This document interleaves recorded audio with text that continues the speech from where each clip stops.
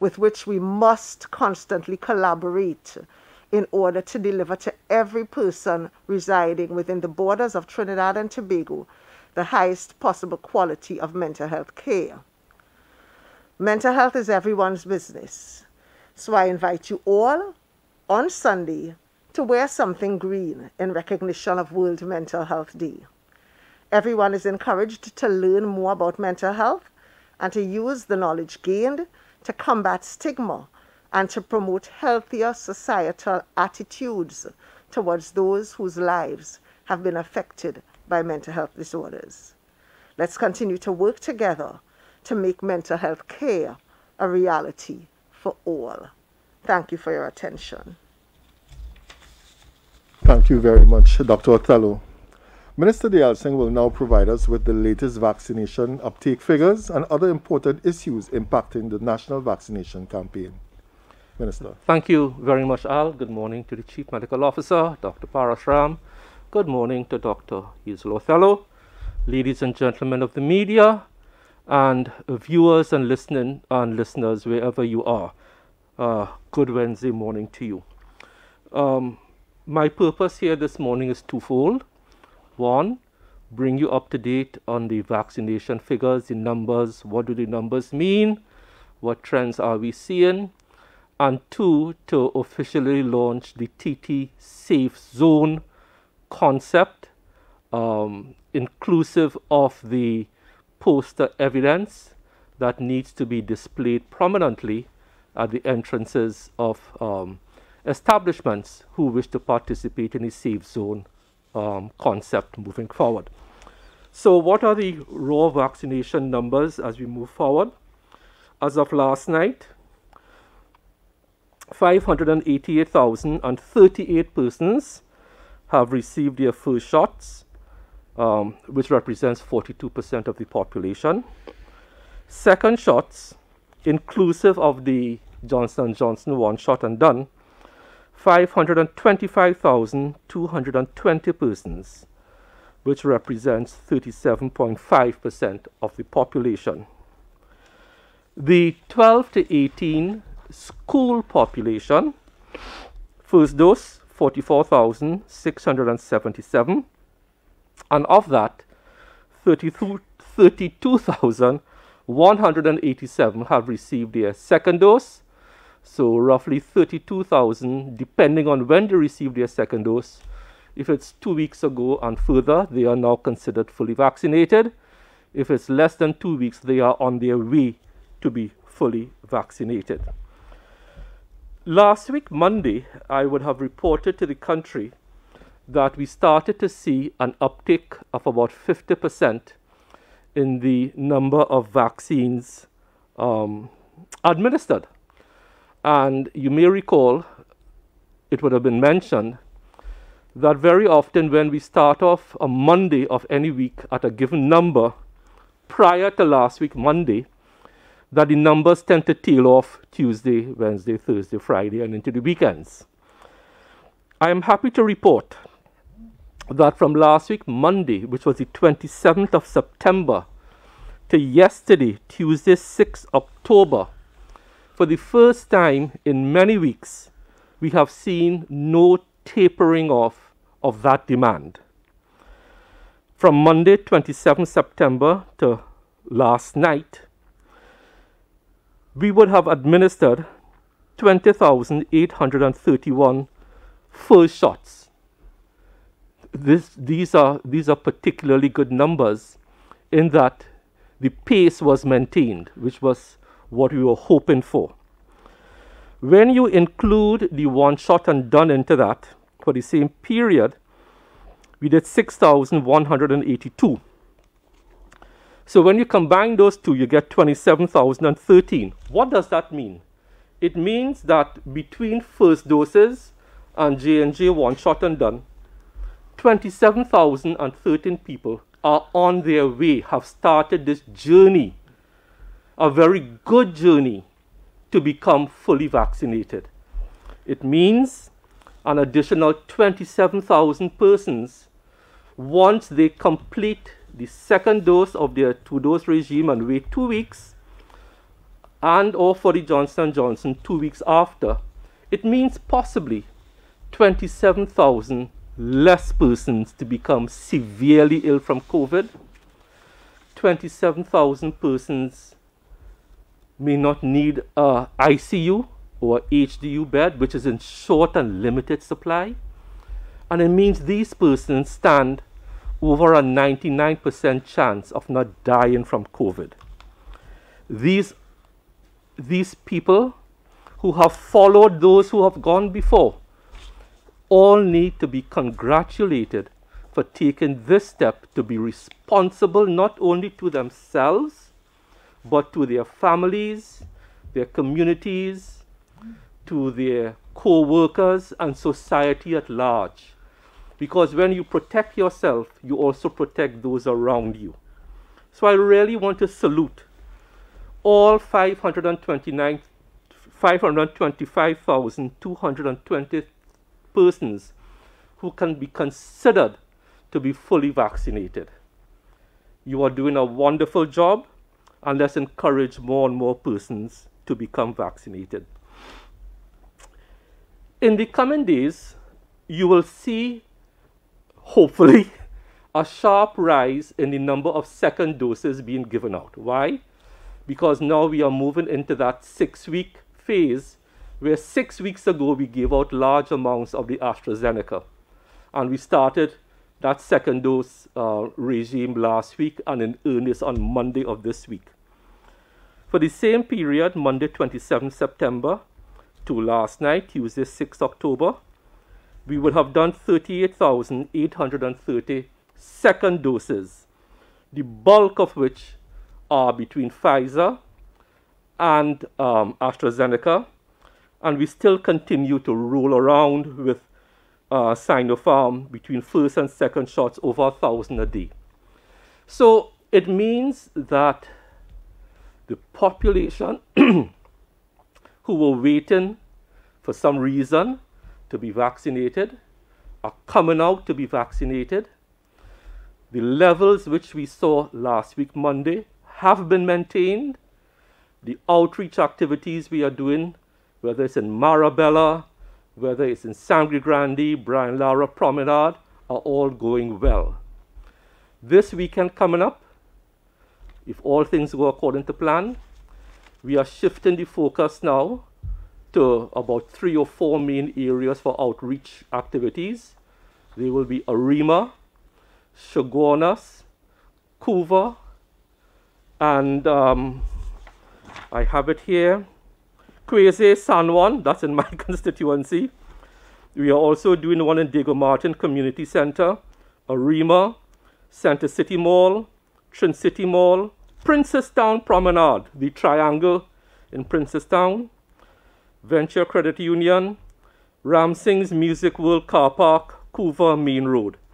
So we are shifting to other major population centers that, high, that have high foot traffic to take advantage of people shopping, getting vaccinated, that has proven to be a worthwhile effort. So this is the one shot and done vaccination drive this weekend. It will be published as usual. Um, so thanks to all the partners who are assisting us with that. So that's the vaccination update. Last word on vaccination, ladies and gentlemen whilst there can be some measure of um, relief that more persons are getting vaccinated, there are two statistics that continue to bother us at health. And we started to include one in our 4 p.m. update. And I want the persons who are thinking hard about making that decision to be vaccinated to pay attention to these facts. Percentage of patients in the parallel healthcare system who are not fully vaccinated. 3,050 out of 3,193. It means the vast, vast majority, 3,050 out of 3,193 which is 95.5%, based on data from July 22nd to September 16, are not fully vaccinated. It means the parallel healthcare system, the step down facilities, are being populated by the unvaccinated. And what is even more sad is that by now we should have had no person, or literally very little number of deaths due to COVID 19. Why? Because once you are fully vaccinated, you stand, CMO, is it 99? A little under 99% chance of not dying from COVID. But yet, every day we're still getting these deaths. So, we continue to share the information, make vaccines easily available, and we ask persons to get vaccinated. My second reason for being here, as I indicated, was to officially launch the Safe Zone, TT Safe Zone um, poster, sticker. The Honorable Attorney General would have officially given the, the position at last Saturday's press conference. This program kicks in on Monday, the 11th of October, which is next Monday. So let's run through some slides and we'll take our time with it. Thank you. So we are going to be talking TT Safe Zone. Next slide, please. The types of establishments, as we have been saying, will be restaurants, bars, a common gaming house, betting pool or office, but you must be licensed under the Gambling and Betting Act, a cinema, theater, licensed under the Cinema, Cinematograph Act, a private members club, licensed under the Registration of Clubs Act, a theater under the Theater and Dance Halls Act, gyms and fitness studios, which will give us, Dr. Othello, a great degree of mental health relief, and water parks. The water parks have been closed for a long time. I think it is time to open them back. What are the rules or the requirements for the safe zone? We have certain conditions for employees, certain conditions for patrons. As we have indicated and signaled over a month ago, all employees must be fully vaccinated. A person is considered to be fully vaccinated two weeks after receiving the final recommended vaccine dose.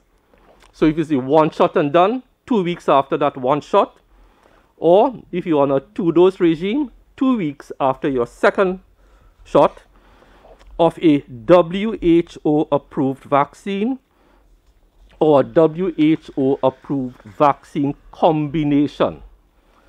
And the CMO will go into details on what those vaccine combinations are. For employees and employers, copies of the vaccination cards must be kept on the premises for inspection, and these copies must be available for inspection by the authorities. What are the rules for patrons? So if you're going to a cinema, going to have an evening out and eat out, going to a casino, going to a gym, going to a water park, you must be fully vaccinated. And I have given you the conditions. You must have proof of vaccination and one form of valid photo ID on your person. Okay? Next slide, please. We have made provisions for exemptions and deferrals.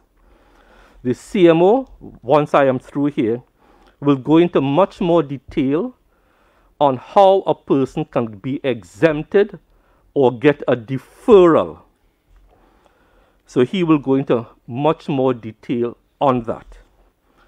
So if an employee wants to be medically exempted or get a deferral, or a patron wants to come in with a medical exemption or medical deferral, there are certain um, parameters under which that can be done, and the CMO will go into detail into details on that.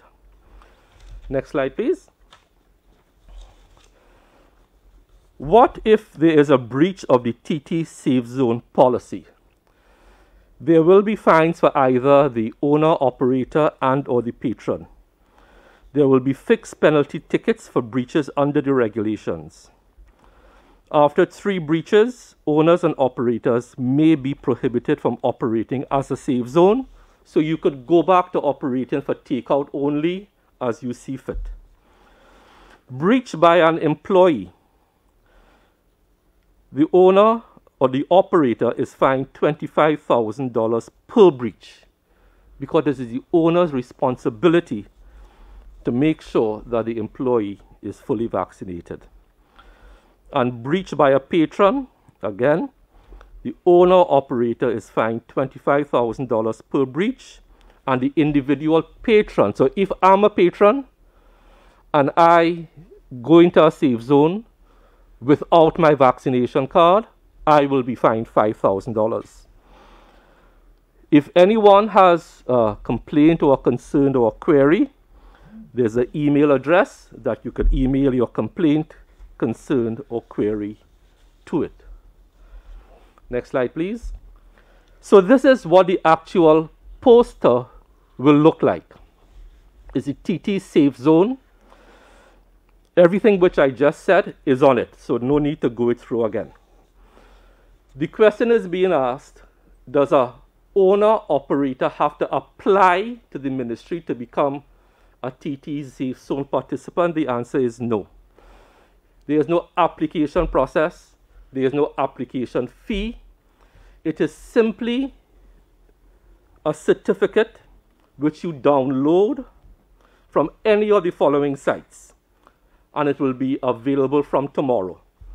The Communications Office of the Prime Minister, the website of the Ministry of Trade and Industry, Ministry of Health, Ministry of Tourism, Culture and the Arts, TT Connect, iGov under the Ministry of Digital Transformation.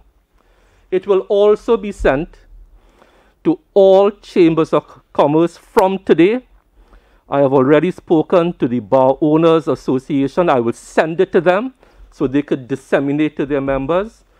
I have already spoken to a member or two who represent the casino industry. It will be sent to them, food and beverage. So we are trying to make this as e administratively easy as possible. Let me repeat there is no registration process. Once you display this, you are agreeing to all the terms and conditions under the safe zone concept.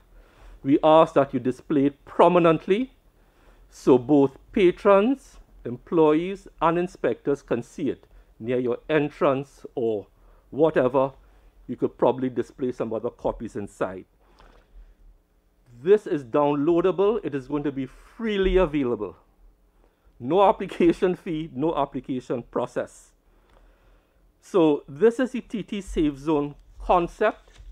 That is the poster you will be asked to display.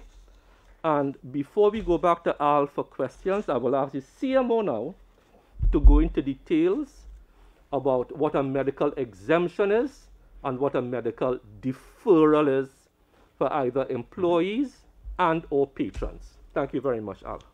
Okay, thank you, Minister. So if I could have the first slide related to medical de deferral certificate, we'll go into a little detail with both of them.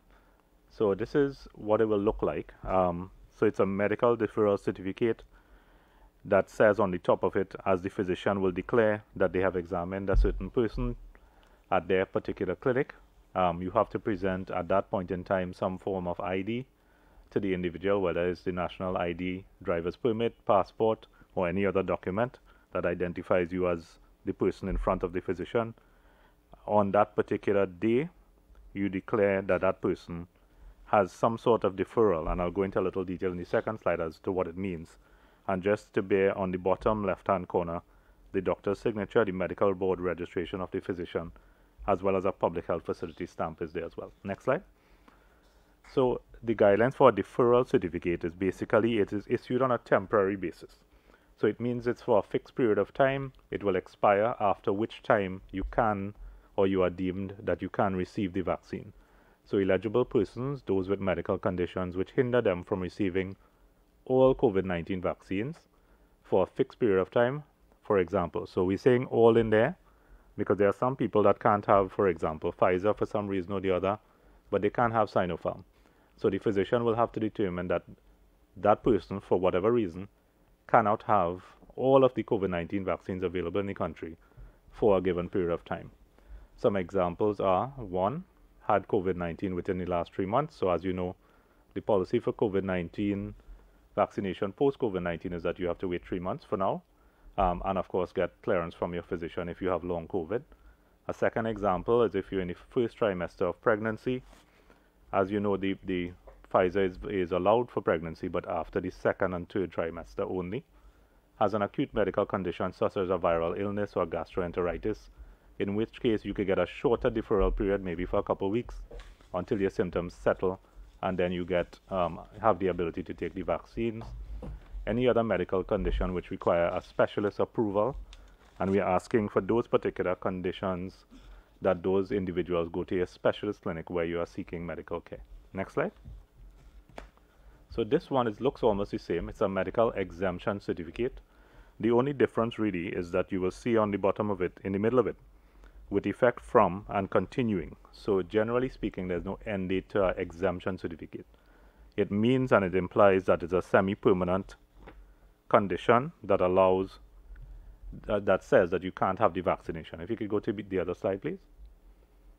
Yeah, so semi-permanent certificates exempts the patient from taking again all COVID 19 vaccines available at this point in time and continuing forward. Meaning, if you have this exemption certificate in place for the workplace, it also applies for travel. It means that you can't have the vaccine continuously unless maybe another type of vaccine comes into the country or you are given a certificate from your physician saying that the, the condition no, no longer exists so you could actually have a vaccine. The last bit is again eligible to persons who have contraindications to all COVID 19 vaccines and to those who have other medical conditions which require a specialist approval. And again, we, um, for cancer patients, for example, um, persons with acquired immune deficiency syndrome, we ask that you go to those particular clinics where you normally seek your care to get your certificates from the specialists involved. Um, next, next slide, please. So, and that, that is just reiterated here in the first bullet. For persons who belong to a specialist clinic, you go to the relevant clinics that you attend. Only physicians in the public sector are allowed to complete these certificates.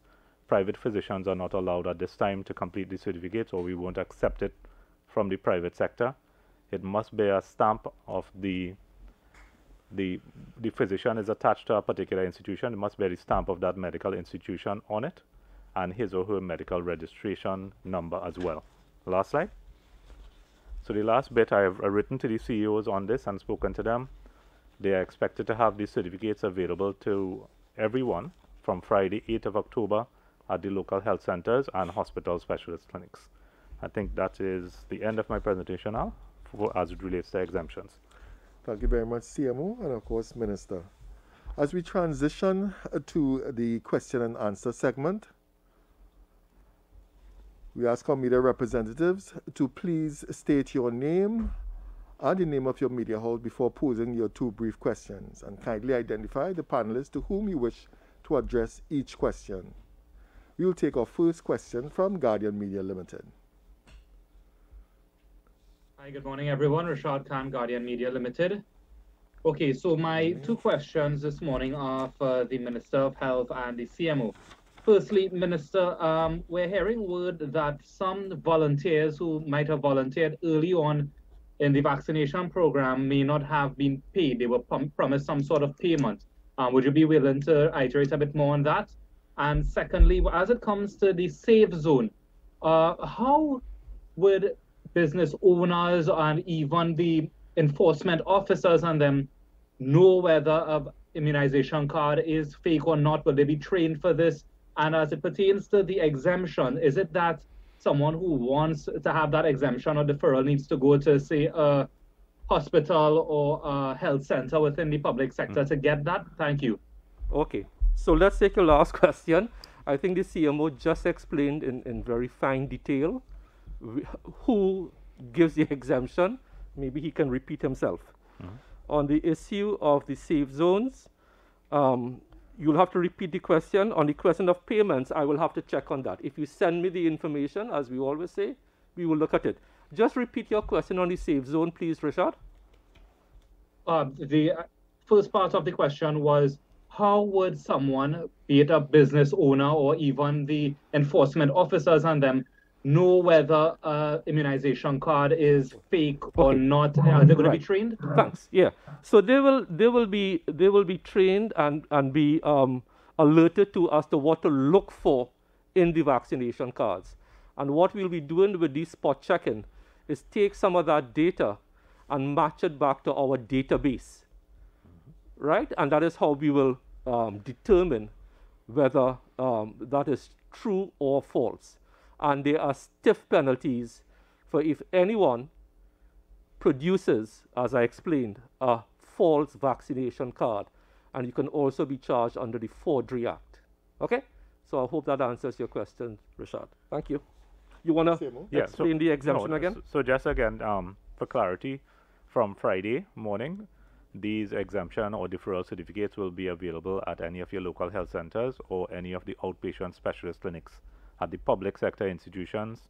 Um, and just to add to ministers um, with regards to the immunization cards, on Friday I'm having a meeting with all the enforcement agencies to go over aspects um, just like that, what we look out for, and in terms of fraudulent um, productions of cards, what do we do in those instances? The legal officer from the ministry will be present to give guidance to the other agencies as well, which include the city and borough corporations as well as the TTPS. Thank you, CMO. We now go to AZP News. Good morning. We are ready for your questions. Good morning, Suan Weil from azpnews.com.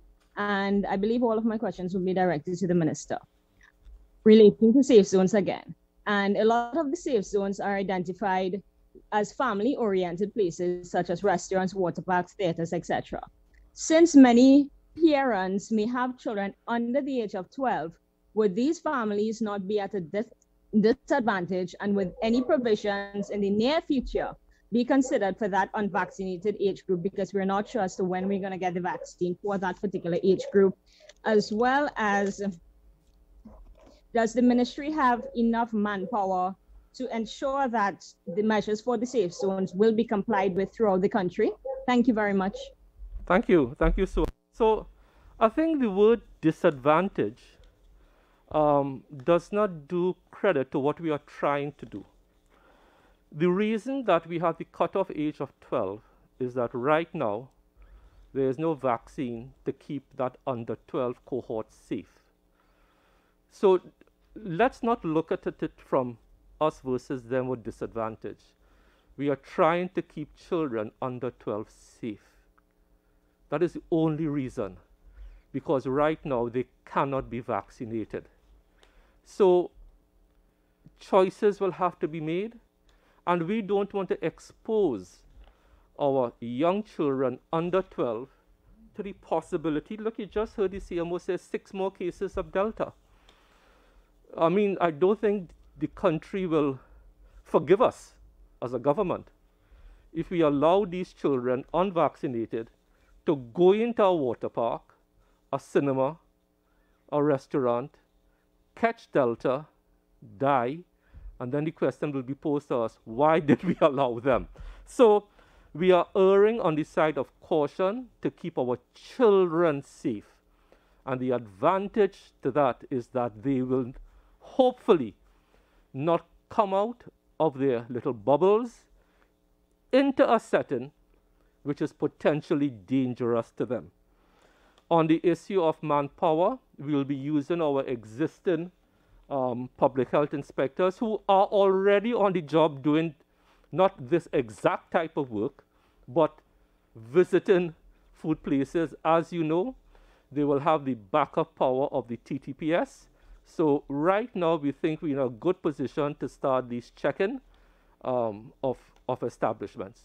Uh, but thanks very much for those two questions. Thank you, very, thank you very much, Minister. We now go to TV6. We're ready for your questions. Good morning. Hi, good morning to the panel. Alicia Boucher from TV6 here. Um, my questions are also for the minister. I just wanted a bit of clarity in terms of restaurants. Right now, unvaccinated patrons can walk into restaurants, they can purchase their food, they can leave. Well, because no dining is allowed. Should a restaurant decide to be marked as a safe zone, is it now that no unvaccinated patrons would be allowed in to purchase food even if they are not dining? I just wanted some clarity on that. Yeah. And So- in addition, in terms of policing of these safe zones, if we have employees vaccinated, we have patrons vaccinated, is it that police officers entering the establishment also have to be vaccinated? Yeah. So thanks. So thanks. So the Attorney General did address your question which you asked on Saturday. Um, he he went into that in full and I think cited case law. So the answer is these inspectors are not required to be vaccinated. On the issue of um, unvaccinated and vaccinated person in a safe zone, a safe zone by concept means anyone inside of that zone in a restaurant, employee, owner, patron must be vaccinated. If the owner of the property decides not to participate in the safe zone, as pertains now, they can do carry out curbside pickup. But if they want to do both, they can simply have their unvaccinated patron collect their food curbside outside. But once you enter that, I'm just using the word bubble because I think we're all accustomed to that now. Once you enter that safe zone bubble as a patron, you are assured that the persons serving you are vaccinated. You are assured that the backroom staff, the kitchen staff, the wait staff are vaccinated. So that is the concept of the safe zone to give you that assurance that in the middle of this pandemic, we can go back to some state of normalcy, that job creation could take place. But if our owner operator decides not to be part of it, as applies now, you can have your takeout, your curbside pickup. If you want to do both, then you do your curbside or takeout for the unvaccinated outside as applies now. Okay? Thank you very much, Alicia. Thank you, Minister. Uh, we now go to Newsday. Newsday, we are ready for your questions. Good morning. My I have two questions, one for the minister, one for the CMO. Um, for the CMO, for the people who want to get their medical exemption certificates, who is doing the assessment to say that this person has the condition that they're presented with? If I normally go to a private doctor to treat with my cancer, for example, um, do I have to walk with a letter from them to the public health institution to be granted that certificate? Um, and then for the minister, the we've received at least one report of a food court saying that they're going to be establishing a safe zone. Um, is this something that is foreseen? Is it that um, unvaccinated people now will not be able to enter a food mm. court to say purchase their food and leave? Thank you. Thank you very much. I will take the second question first. So food courts, you know, like in a mall or anywhere else, are not under the direct control of any one owner. So therefore, and it's a very good question you asked, and I raise this with Honorable Attorney General. Food courts will not be allowed to open for sit-down dining at this point in time. In a food court, you buy your food and you go, grab and go. The safe zone is for owner operated premises. But in a food court, the dining area is a common area, not under the control of any of the franchise establishments or the chicken and chips place or the, or the curry place or whatever. So this does not apply to food courts, and I thank you for raising the issue to lend us some clarity. CMO? Okay, so the so the medical, yeah, so it's a good example. So you have a patient who is strictly being seen by a, a oncologist, a cancer patient in the private sector. There are a few options. So basically, if you go to the public system, uh, without any referral, you will possibly have to be referred to a specialist within the public system to be properly assessed and then, of course, given an exemption or deferral. If you have a referral letter from that specialist, which indicates the condition and the medical officer who sees it is satisfied that the conditions are suitable to be granted an exemption and deferral, they can do that as well. So a referral can be given from the private physician to the public sector physician, and they will, of course, do their clinical exam and determine if they need further information, but they may also refer to a similar specialist in the public system to have that verified if they need to do so. And the same thing applies when we deal with disability grants, for example, or public assistance grants. It is a system that is already in place. Thank you very much, CMO and Minister. We now go to IETV. Good morning. Hi, good morning. My name is Bina Mahir from IETV News. I have two quick questions. My first question would go to Dr. Othello. Dr. Othello, are mental health services being offered to students and teachers with the reopening of school effective Monday, and where can the services be um, accessed? And my second question would go to the Minister.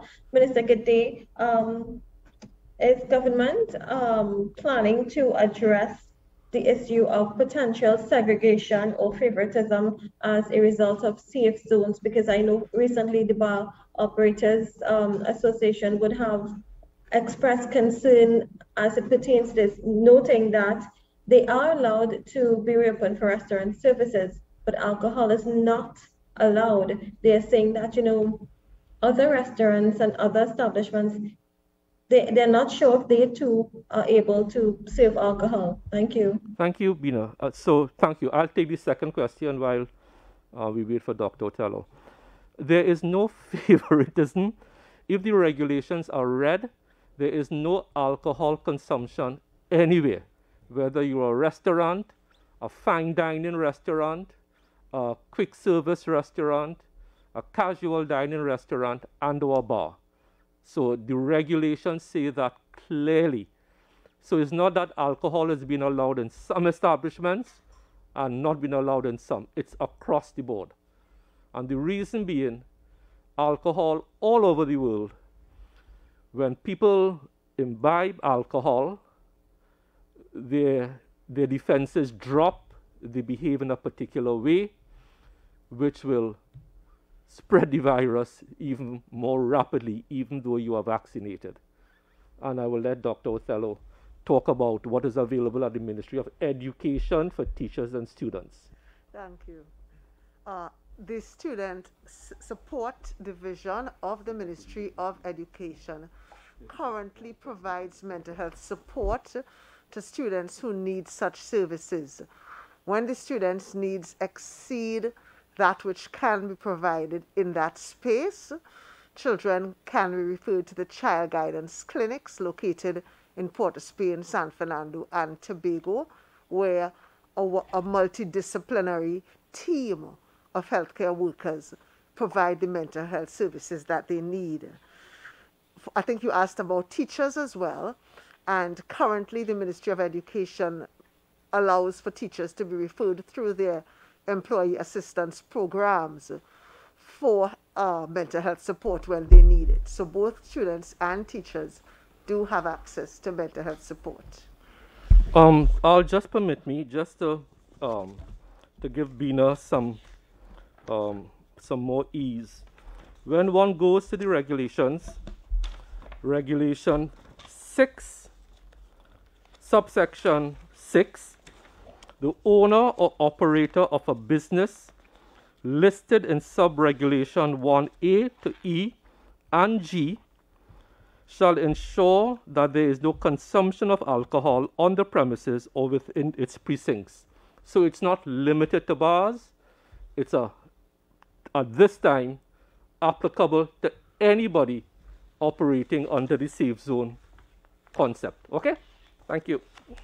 Thank you very much, Minister. And Dr. Othello, we go to Power 102 for your questions. Good morning. Hi, good morning. Gregory Manguini from Power 102 Boom Champions and Bliss 102.3. Um, the first question is We've had some reports of persons dying from COVID in regular healthcare system and bodies being removed from wards by persons wearing hazmat suits. Um, can you confirm this report? Gregory, could and you, so, could you, done could you speak a example, are little louder, louder, please? We're having some challenges hearing you. Could you repeat your question and just speak a little louder, please? Thank you. Sure, no problem. Is this better? Go ahead. All right. Right. So we've had reports of persons dying from COVID in the regular healthcare system and bodies being removed from wards by persons wearing hazmat suits. Um, can you all confirm these reports? And if so, what is being done to address it? For example, are patients given COVID tests, um, rapid COVID tests prior to or upon their admission to the regular healthcare system? As one. And two, I'm not sure if this was addressed previously in terms of how the safe zones will be released. But what happens in the case of teenagers, for example, with no national ID, if they wish to enter safe zones? We know Movie Town is a popular place for teenagers to congregate, but with no national ID to verify their identity, what happens to them? Is there any measure in place to minimize the instances of fraud with persons using vaccination cards that are not theirs? Thank you. Thank you very much. Thanks. So I will take the the um, the second one. What you can do in that case, if you don't have a photo ID, is simply walk with your vaccination card. Okay. Thank you very much. And CMO will take the other one. Yeah. So, I mean, I, I didn't have any incident in particular that was reported to me from any of these RHAs, but generally speaking, the principle is anyone that is admitted to any of the wards, we have an antigen test in place. We also do PCR at some of the institutions. Of course, if you develop flu-like symptoms while you're in a ward, you are tested as well to ensure that you're not positive. As you know, in, in many hospitals, there were there were cases of COVID-19 positive patients, and as soon as we detect them, we normally send those cases out to out to one of the parallel healthcare system um, treatment sites, or we isolate them as best as we can within that particular setting, depending on the type of illness they have. If in in some instances, when they can't physically be moved because of the nature of their illness, um, so we can. I will look at if you could give me a idea offline of which regional health authority the incident is alleged to have occurred, we can investigate a little further with that particular RHA and get back to you. Thank you very much. CMO, we go to TTT for your two questions.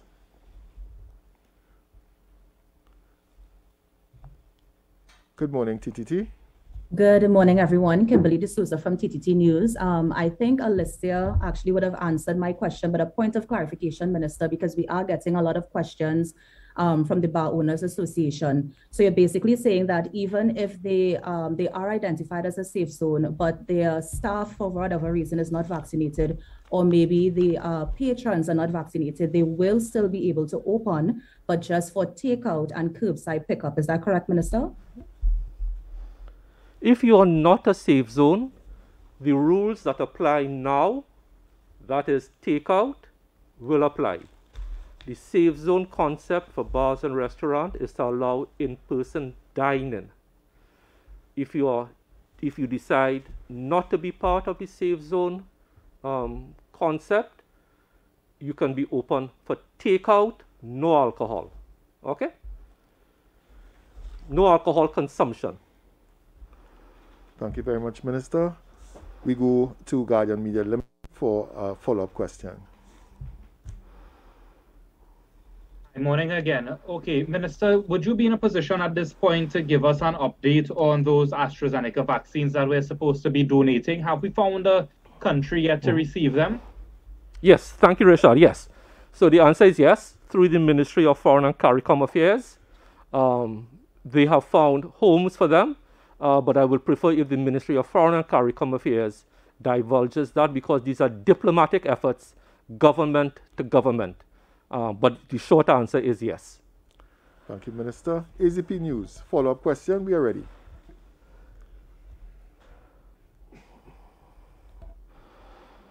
AZP? Okay, so we will go on to TV6.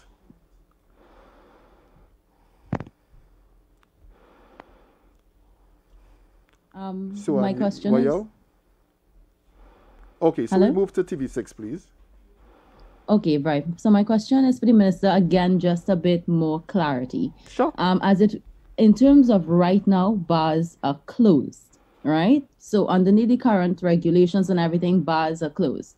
they're being allowed to open under the safe zone, if I'm not mistaken. So I want a bit of clarity there. Is it that all bars come Monday are allowed to open whether or not they're marked a safe zone?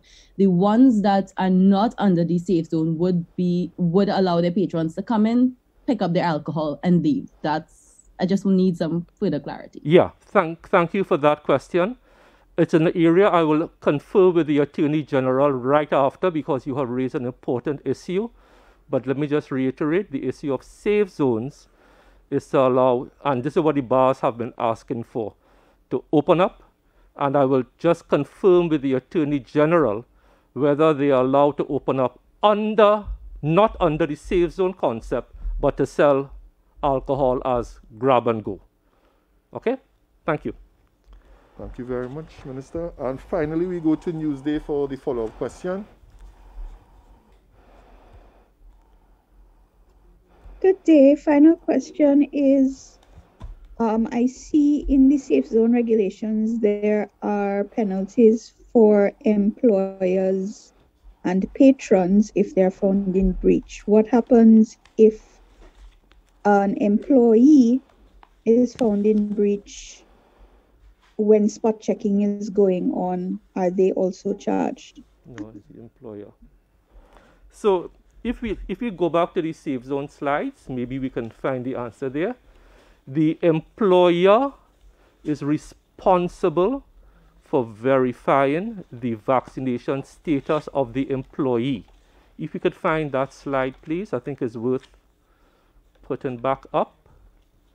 But the employer, I have a hard copy here. Let me just double check for you.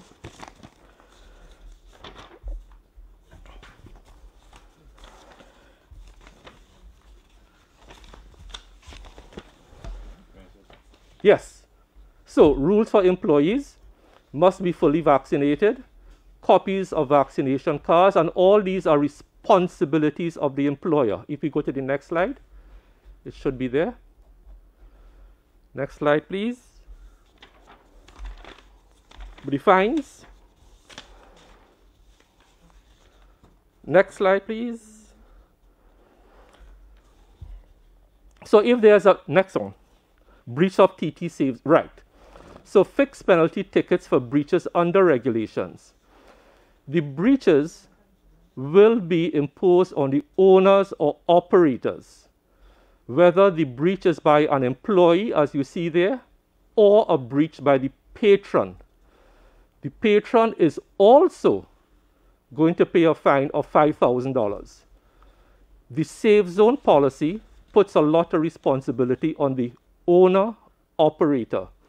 So if the, uh, it is the responsibility of the owner operator to make sure that the employee submits his card and the breach by the patron, the owner operator is also fined in addition to the individual patron. So I hope that clarifies the issue. Thank you very much, Minister welcome. And Dr. Othello. We have come to the end of today's COVID 19 update. In closing, we ask that you continue to protect yourself and your loved ones by practicing the three W's and getting vaccinated. Remember, the COVID 19 vaccines being disseminated through the public health system are all approved by WHO. They are safe, they're effective, free, available, and accessible without appointments. These vaccines are available in all five regional health authorities at all 109 public health centers in addition to the advertised vaccination sites. If you haven't received your COVID 19 vaccination as yet, please get yours now. Don't delay. Vaccinate today. Thanks for joining us and goodbye for now.